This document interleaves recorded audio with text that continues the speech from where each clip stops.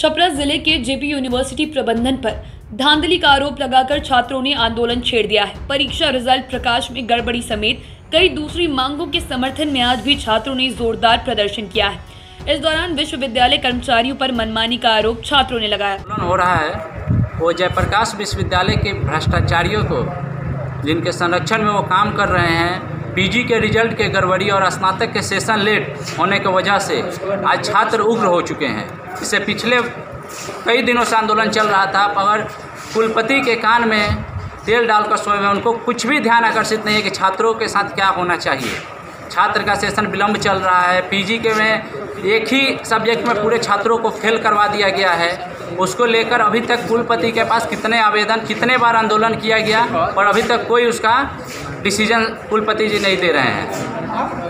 यहाँ तक कि बीएड का रिज़ल्ट घोषणा कर दिया गया है। पिछले चार पाँच दिन पहले, पर अभी तक उसको साइट पे नहीं चढ़ाया गया। छात्र हमेशा परेशान रहते हैं। विश्वविद्यालय आने के बाद पता चलता है कि छात्रों को कोई सूचना देने वाला नहीं है। कई कई महीनों से डी का अभी तक नियुक्ति नहीं किया गया तो छात्र कल्याण की समस्याओं को सुने। जब डीएसडब्ल्यू नहीं रहेंगे, छात्र कल्याण की समस्या कौन सुनेगा? छात्र इस बात से दुखी हैं कि गड़बड़ी में सुधार का उन्हें आश्वासन तो दिया जाता है, लेकिन कोई कार्रवाई नहीं होती। पिछले दिनों जब रिज़ल्ट थी पीजी, सत्र 18 20 और 19 21 की उसमें परीक्षा उसमें परीक्षा फल में बहुत बड़े पैमाने पर गड़बड़ी सामने आई थी। और ये गड़बड़ी सिर्फ़ ये इसी परीक्षा की गड़बड़ी का मामला नहीं है। पिछले कई सालों से लगातार स्नातक की परीक्षा हो या पीजी की परीक्षा हो या बीएड की परीक्षा हो या शोध विद्यार्थी संगठन विद्यार्थियों की परीक्षा फल की बात हो, सभी परीक्षा फल में और अंक पत्र में लगातार गड़बड़ी सामने आ रही है। और ये गड़बड़ी पिछले चार पाँच सालों से लगातार जारी है। पिछले दिनों पीजी परीक्षा फल में गड़बड़ी के बाद हम सभी छात्र संगठन के लोग मिल करके कुलपति महोदय से हम लोग ने मिलने का काम किया था। उस समय मौजूद कुलपति एवं जयप्रकाश विश्वविद्यालय के परीक्षा नियंत्रक भी मौजूद थे।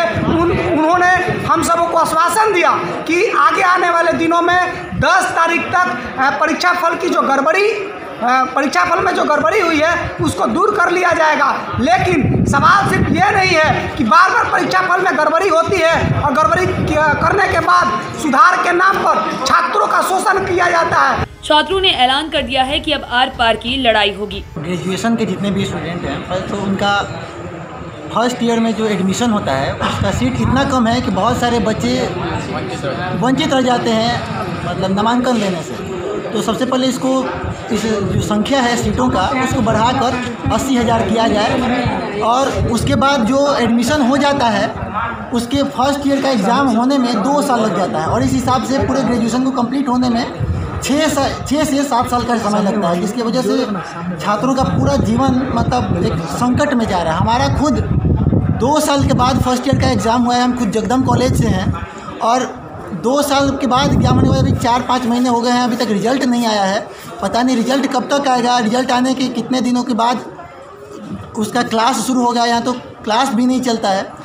उसका सेकेंड ईयर का एग्ज़ाम फिर अगले दो साल के बाद होगा, फिर थर्ड ईयर का एग्ज़ाम होगा, फिर हम मास्टर्स कब करेंगे, उसके बाद हम आगे की पढ़ाई क्या ही करेंगे, जब उसके बाद मान लीजिए हमारा ग्रेजुएशन लेवल पे जो एग्ज़ाम होने वाला है, जो एग्ज़ाम की तैयारी हम कर रहे हैं, कि ग्रेजुएशन कंप्लीट होने के बाद हम बीपीएससी, यूपीएससी की तैयारी करेंगे।